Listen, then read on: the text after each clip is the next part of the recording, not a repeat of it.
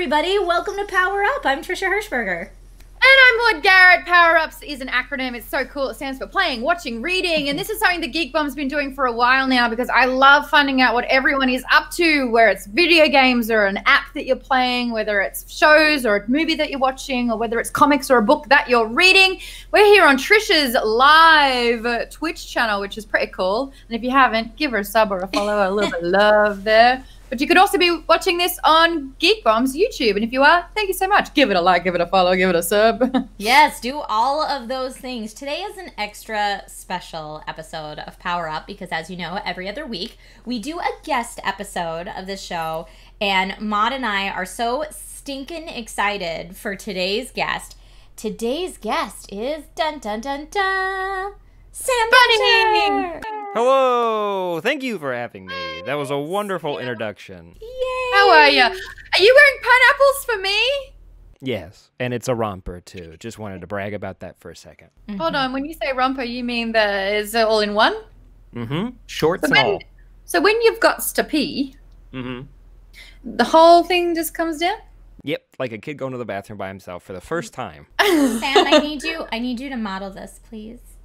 Oh, me? Yeah, mm. you said it's a romper and then you didn't show us. So oh, can you? That was a little rude. Mm. All right, so I'm just in a chair right now. So be yeah. careful with that leg, right. though. We don't want to twitch terms of service. Very nice. Oh, yeah, good call. Don't All show right. legs. No feet, no legs. no feet, no legs. Not gonna get you banned. Very nice. So Sam, how are you, man? Are you sheltering in place? What's going on?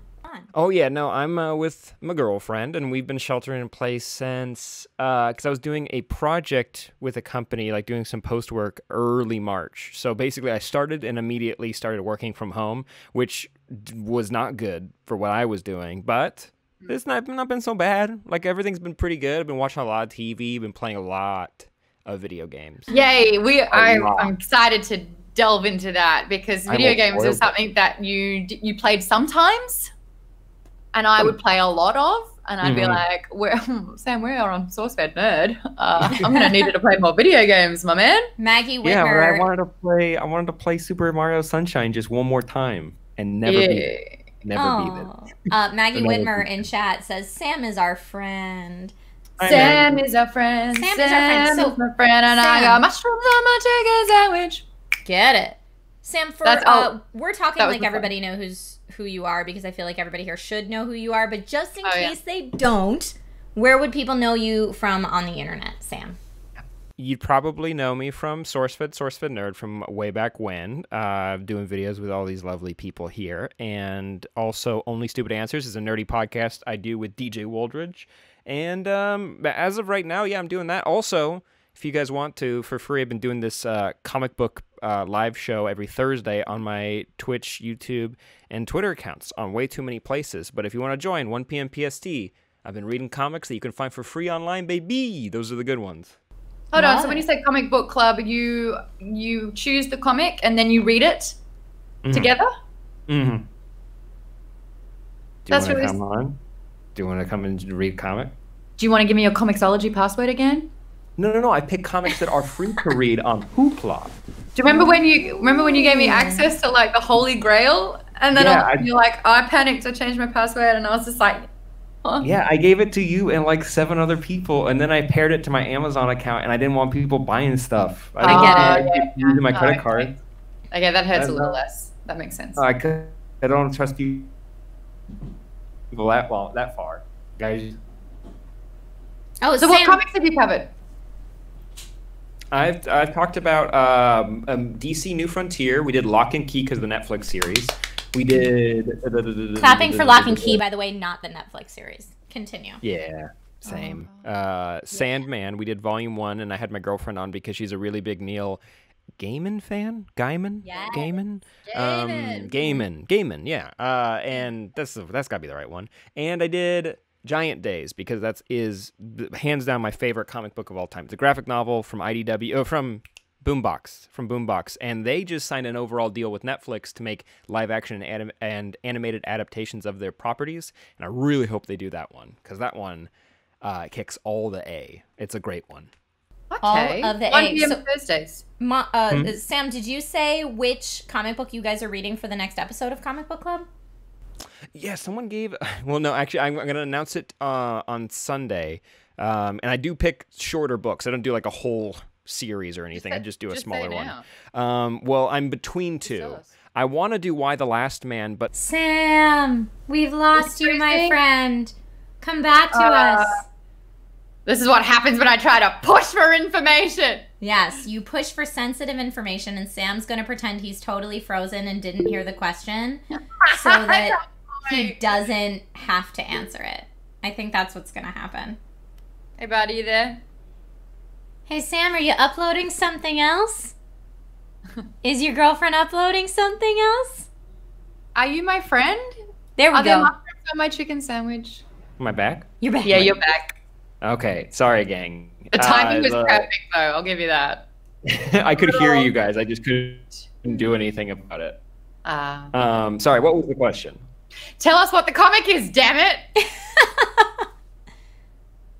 Oh my gosh. Between- I'm between a couple. I want to do Y the Last Man, but the the, the premise is about the uh, virus that kills all men on Earth. It's a little dark, and I'm trying to f- figure out if I can do a different one. But I do really want to talk about Y the Last Man. It's really good. I might do that or Saga because everyone, every comic book fan always says you gotta read Saga. It's Yeah. comic book fans, The Wire or Breaking Bad, because everyone's like, well, you gotta read that. If you're gonna do read a comic, you gotta read that one first. Yeah, and. It I've is great, definitely heard though. about that. Okay. Um, you're you're doing comic book club. Your girlfriend's doing a book club. Can you tell us a little bit Mm-hmm. about that? Where people can catch that because she's covered Ready Player One recently.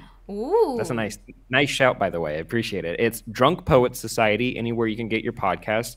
Uh, Taylor, my girlfriend, and her friend Felice uh, just pick a book, and then they create a cocktail based on the book. They create it all themselves, based usually with what they have in their house. They don't go crazy with it. Um, and Tell then they me more, Sam. they uh, Yeah, it's right. great. They they rate the um. Well, I went on and I did a Watchmen pod uh, review. That was their first graphic novel, and we I made a Doctor Manhattan Manhattan drink. As So I made it blue with blue curacao. It was sweet as hell. It was okay. they also rate the uh, cocktails at the end of the episode, and that one got an okay score. It was like drinking cotton candy, but Okay. I don't think that's the worst thing. It's rough. Eighteen-year-old You don't Maude is like yes. Yeah, same cotton candy vodka. I definitely don't Ugh. remember drinking that. Drank Do you a lot of remember when we did the uh, booze test on SourceFed, where it was like we had the most ridiculous liqueurs and we had to try and guess the flavor? Didn't we win? I think so. I do remember it. I just don't remember if we won. I don't. I usually They remember when I won. trying won. to make us drink. it's- But mind you, though, I think our um, drunk riddles videos m- possibly hit nine million views. yeah, yeah, that's what I always. That's still on my resume. it's a. It, it always has a caveat on it because it's like, I mean, it's impressive, but also at the same time, I'm plastered in it, so I don't like it.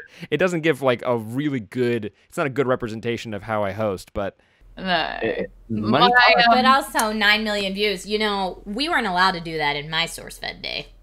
Mm-mm. In the, I mean, in the prior really class, reason. we never drank anything. We we had none of that. And also, you guys are sharing all these fun memories of SourceFed videos you did together. And the only times I got to interact with Sam as a host were when he was the main host for the For Human Peoples channel. oh yeah. Shout out. and uh and I it, Where's it- like what I what I remember is like Sam the intern goes to Adult Con with Steve. Like that was like your big thing. So th- that's what I remember about getting to host with Sammy Bashor, which Yeah, is no. very different what Maude remembers. yeah, I, I got I came out of my shell a little bit, uh, just a tiny bit, and uh, yeah, those were those were dark times. the For Human People's channel. We did some cool stuff, but the the show where I I found like designs and and sold merch and stuff. I don't even know if it's on the channel anymore. To be completely honest, I've never gone to go look for it, and I don't want to watch it. It's not going to make me feel good when I watch it. It's gonna be embarrassing. oh, none of that made your hosting real? I, shockingly, I think it maybe was in the quick montage at the end just to have some different backgrounds in there. I don't think it was nothing prominently featured. Got it. what are some of your favorite memories of SourceFed, Sam? I mean, we got to do a lot of really cool like any time we got to travel at all, like if for anything was always cool. Uh, really, I try to travel as much as I can dur- throughout the year, and so does my girlfriend. and I had a bunch of trips planned, which are being reconsidered currently because that makes sense, and that's a big, big bummer. But uh, anytime we could travel was um, uh, was always a big plus. Uh, doing videos with either of you guys was always a blast, and doing like table talks, even when they got uh, to the point where we were all tired of them, which was pretty early yeah. on. that, that, that- all, the, same stories like twice because we'd forgotten if we'd said the story. Yeah. yeah, no, those uh those got a little tiresome, but uh I don't know. We always got to at least try something new, and that was always fun. And uh, I- I've definitely, I definitely miss going to an office to work because I've now fully burnt out working from home. I'm done with that. No more. I don't want to we wear sweatpants the whole time. I want to wear sweatpants in an office. No, office offices offices have started feeling like prison to me. That's that's how I am. I'm much well. I like to work in studios that are elsewhere, but I don't like to work in offices that are elsewhere. Okay. Yeah, what is That it Superman curl you got going over your forehead? Oh, I've been doing this like it's like this hair curl smoothie treatment. and I'm done. Yeah. Yeah, I bought it, and it. By the way, it smells delicious. Like it smells like Does it smell like pineapple stew? It, it's it, it's like pineapple mango, and I just really want to just try a little bit of it. Don't eat so. Dude, you're Don't putting use the that. cool in tropical. Thank you. yeah. It is, and, and with with the dab on the exit, let's move on to a segment we call "Blast from the Past." Blast from the Welcome, Past. Amy. Yay! Yeah, a lot of stuff happened in April in the past. Um, Ah, all right. yeah, so we're gonna just go by sections, by power sections, starting off with playing. Um, on April eighth, two thousand one. Do you guys have any guesses what happened? April Mario Sunshine. Close. Dr. Mario, sixty-four. Only because you said Mario. You say Uh, Dr. yeah. Mario, and I'm immediately like the original NES game, and then you said 64, and I got a little little sad. Shish, Yeah. I played I played Dr. Mario on the NES. Like this is when we had to rent the system only during the school holidays and then rent the games. Oh my gosh. Yeah, that's what I used to do. But I played that one and Dr. Mario has some of the best music. Like hands down. I, I there's like one tune that's just such a it's a little ditty. It's bop. good. It's real good. Dr. Mario's a real good time. What about um? What do you think came out April twenty-eighth, nineteen eighty? Oof. You have five seconds. Five. of us were born. Does anyone Ted- memorize release dates? Is that like Yeah, a no. thing people do? Some people yeah, some people do, especially for Ooh, movies. Movies. Well, it was Game and Watch Ball Oh. was released. Um, so that's the first title in the series. Sam, you're saying, oh, so you're a fan? I mean, in Smash, I always go for him, and I don't know how to use all his moves. I just like the character a lot. I have to Google who is this yeah, I don't I don't know Game and Watch Ball. Tell me so, more. So this Oh, series- Neil and watch. yes, yes, yes. Wow, There's that was lesser good. known title. Thank you. That was me. Oh, clapping. that dude. I remember that. Yeah, when I was in after school care, they had those really poor handheld, yeah, games like Donkey Kong and stuff like that. Okay. There was like 60 of those video games, and the Yeah. games were actually released a year before Donkey Kong, which is crazy to think about games before Donkey Kong, at least for me. He's the OG. Yeah, yeah. Um, yeah, it was one of the most successful products in the early 80s, so yay, Game and Watch. Okay, moving on to Watch. Oh, watching. Game and Watch. Watching. Watch- there we go. Nice Now segue. I brought it. I brought it back. Um, this is by far some of the most exciting news I think I've ever said. Um, but yeah, Parks and Rec. I'm gonna tie in two things here. Whoa, Maude, I don't think you've seen it based off of your reaction. okay, so Parks and Rec premiered on April 9th, 2009. They um, had seven seasons, 125 episodes from 2009 to 2015. I am a massive fan of Parks and Rec. Um, lately, uh, something huge happened. So Amy Poehler went on Instagram and said, "Hey guys, we're gonna have a brand new episode of Parks and Rec." So it's been gone for about five years now. Yeah. Um, they're creating a new episode. They're all going to be filming it from their house, sis, um, separately, of course. It will premiere Thursday, April 30th, so just a few days from now on NBC. Parks and Rec is teaming up with State Farm to help Feeding America. So it's during this quarantine, which is so exciting because we get to see these characters again. I'm so Anyone? excited. I'm a Thank huge, you. no, huge fan. Season one blows. Season two through six Ah, got it. is, That's is why. great. Sam, tell Yeah. us what you love about it. Oh, it's no, it's per, it's it's you know how the office got good and it was good good good and then it had a very sharp decline and it was just kind of like a slight it just was like a careening off a cliff near the end i'll say it i'll be Yeah. honest it was not good near the end parks and rec it does the opposite it has a little dip in the beginning and then the quality only goes up from there they uh, add in ben wyatt played by adam scott and uh, Chris Traeger, played by Rob Lowe, and immediately the show makes sense. You fully understand who each of the characters are and the way they're able to play with the dynamics and make local government interesting without it becoming political, which is it's such a fine line to walk.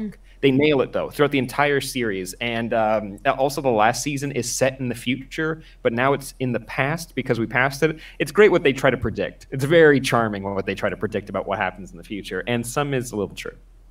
Okay. Yeah, I didn't make it after the pilot. Yeah, no, the first I'm season like. I'm putting the nope in Leslie Knope on that one. No! Sorry. That was really loud. Sorry, podcast listeners. I haven't really seen it, but I appreciate that you guys love it and you inspire me to want to check it out. Just skip the Highly first season. Just don't watch it. Okay. Just go right past it. Sure. Got it. Um, something that you should definitely not skip is um, watching all of the the Marvel movies because two years ago, it's been two years since Infinity War came out. Came out April 27th. Wow. Um, today, actually, two years ago today was the time that I saw it. It was a press screening. It was the morning. I mean, uh, we all remember this. It was the whole Thanos dema- demands your silence, all that jazz. But I just can't believe it's been two years. You know? That's crazy. looking that one. Yeah. Yeah, that one's a big one. Yeah. Um, now moving on to reading. Um, what book do you think was published on April 10th, 1925? Mm. 1925. Charles Dick- Dickens. Three, two, nope. The Great Gatsby. Oh. Yeah. That makes sense. Yeah. I That had to makes cover that in high school, Yeah. and like I did not put the cool in high school. Um, it just it wasn't. I when you have text and then you have to like draw out the themes and then write a four-page essay on the themes of the book. I remember writing it, going. What if the author, like, we can't even corroborate this with the actual author? They're probably like, I didn't mean that at all, or oops, that was an accident. But here we are doing this dissertation. I always thought that. Yeah, for a book that's Writing about really have that fleshed out. for a book that's about booze and sex, it should have been a lot more interesting. Yeah, agreed. yes, amen. I, I fully erased that from my brain after reading it, and the same for Grapes of Wrath. Both of those just kind of fizzled out. Grapes of my of Wrath was an American curriculum only, and I think we spoke about that in SourceFed because you were like, couldn't believe. I think you made a reference, and I was like, Grape, Grapes of Wrath sounds like a really angry wine. Mhm. It Which should be. There's got to be it's at least not- 71 companies with that name. There has to be. Someone work on It that. has to be. Um, if there's not somebody here has to do it, or somebody in chat do it. Do it. Fun little fact with The Great Gatsby if you guys watching or listening happen to have the rare first edition uh, with its original dust jacket, it has been sold between $100,000 and $150,000. So Oh just keep that Oh in my mind. Everybody call grandma. Now Oh moving on to the final piece of blast from the past still in reading um, this one's a little it's interesting because i don't think i knew all this information um, shakespeare was born and also died this sounds weird in the same month different years of course we don't know when he was actually born did you guys know that Mm-mm. oh, really? yeah we don't we actually don't know um, the exact date of birth is not recorded Yeah. it is most often celebrated in the world on the 23rd of April. Now, his baptism is recorded on Wednesday, April 26th, 1564. Baptisms typically took place within three days of a new birth. Parents were instructed to ensure that their children were baptized no later than the first Sunday after their birth, which means that he was born no earlier than the previous Sunday, the 23rd of April. Shakespeare Which was another reason why English class for all of high school was just absolutely awful. See, now We I have got a hard movies. disagree with that. I got a hard disagree with that. When we finally got into Shakespeare, I was like, oh, thank God, something interesting. Um, Shakespeare is like, Oh my god, it'd be like read a passage, and it's like, "Doth thou art flourish above the knights of yonder?" oh, and get like, down with your that mean?" romantic self, Maude. It's not that bad. It was the only time we got to dress up in sixth grade. We got to do uh, Julius Caesar, and we got Nice. to dress up, and uh, I got to be one of the people that betray Caesar. I just had a I had one of those collapsible knives. And I was like, oh, cool, and like that's all I remember. I mean, just But, take uh, like a big bowl of that iambic pentameter and just chew it up, right? Let, now, that being said, I was a classical theater major in college, so a little disclaimer. And I was like, I'm going to make my living doing Shakespeare on stage. And then I graduated and realized no one pays you to do Shakespeare on stage ever. What are you talking about? You don't Where? make money doing that. There is a Shakespeare improv group that was probably one of some of the best improv I've ever seen in my life. They would improv a Shakespeare esque kind of play on the spot, and they would use iambic, iambic pam- I, iambic pentameter. um, I totally know which uh, which theater group you're talking about. I have friends that are in it. oh my god, they Yeah. are like they make Shakespeare sassy, and that's did really you hot. did you see their Pulp Fiction done as a Shakespeare play? They did the No. movie Pulp Fiction, but all in iambic pentameter. Good lord, If we're thinking of the same theater company, yep. does that get you going? Be honest. Oh, I love it. yeah. Okay. I mean, get me going, like put me in the mood. No, get me going, like this is the most beautiful poetry I've ever seen. Yes. Yes. I've never seen it, so I cannot say, it, but probably. Um, it's Yeah. also way, in my opinion, it is way more interesting to see Shakespeare performed than it is to read it. Um, it's very, very hard to just read something that's written in iambic pentameter and, you know, with that kind of old English language and comprehend it from reading it. Whereas when you have an actor with props and a setting who is emoting and they're very clear on the intention of what they're saying, it is way easier to understand what they're Agree. saying. Absolutely agree. Yes. I just don't. Again, I don't want to analyze. Mhm. You just want wanna to enjoy. it. There it is. It's that was like a when cool you- place to past. It's like when you Yeah. go see opera. You know, you don't really know what they're singing, but you get the gist of what they're singing because of the Oh, emotion. thank God. Thank God you said that because I've never understood it. I've only seen one in person and then uh, the Bugs Bunny cartoon like 30 times, but like you just get the gist of it. You Yeah. get the costumes, the lightning, someone died, and then they're upset about it. But they're screaming in the same cadence when they're sad or angry, but you get it. You understand the tone. Yeah, yeah, totally. Awesome. Well, Amy, thank you so much for uh, Blast from the Past. That was really fun. Taking You're a welcome. Yeah, well, we're going to get back into PWR playing, watching, reading, playing, and being first. So don't go anywhere because Sam Bashor, our guest for today's episode, will be delving into what he's currently playing. Yay!